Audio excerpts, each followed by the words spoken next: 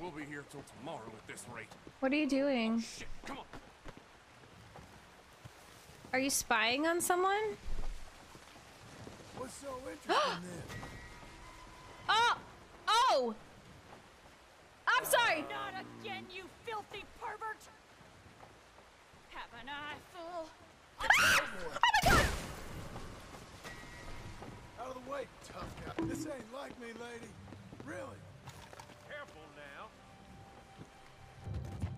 Uh, well, oopsie doopsie.